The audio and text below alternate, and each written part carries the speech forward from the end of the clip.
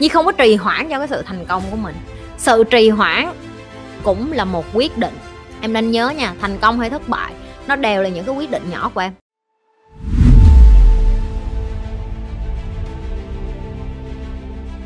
Chị luôn tập thể dục mỗi ngày để biết chắc được là chị có cái năng lượng để phục vụ cho cả một ngày của chị để làm những công việc khác.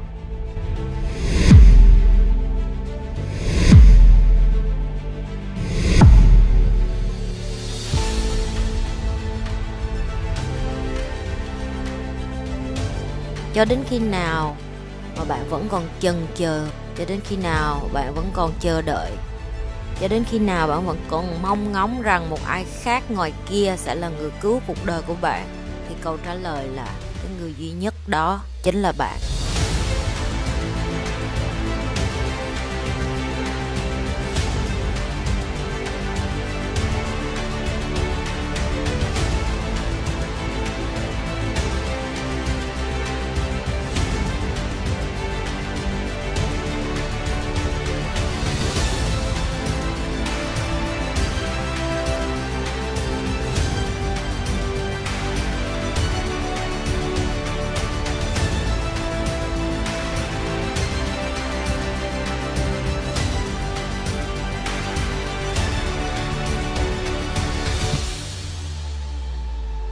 Mỗi lần mình bỏ qua bất cứ một cơ hội gì dù là khó khăn đến mấy mà mình bỏ qua thì mình đã mất đi tuổi mình đã mất đi thời gian và quan trọng nhất là mình mất đi cái ý chí.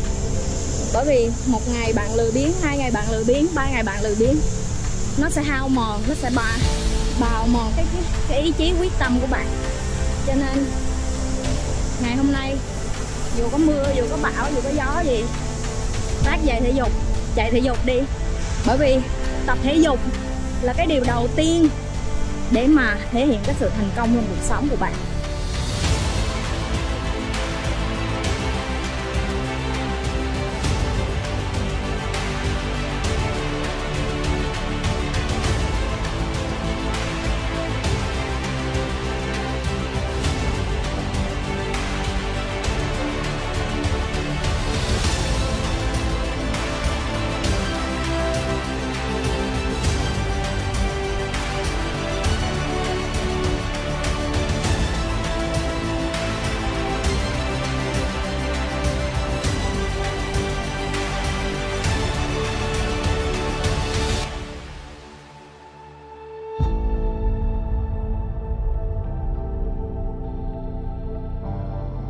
Xong sau cái mỗi lần mình tập thể dục đó, thì mình cảm thấy là rất là tự hào về bản thân mình. Ờ, cái cảm xúc nó cảm nó nó tốt hơn. Mình cảm thấy là cái việc tập thể dục nó nó giải tỏa rất là nhiều cái căng thẳng á. Thì mình cảm thấy rất là sảng khoái rất là uh, thư giãn. Tại vì chăn ấm nệm em là kẻ thù lớn nhất của con người. Khi mà yeah. mày quá sung sướng mày có nhu cầu thay đổi.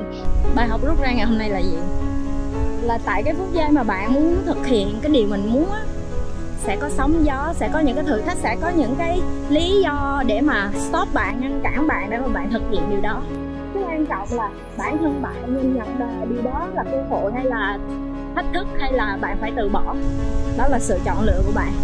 Như thường lệ, nếu như mà mọi người thích những cái video như thế này, đừng có quên like, share và subscribe cái kênh của nhà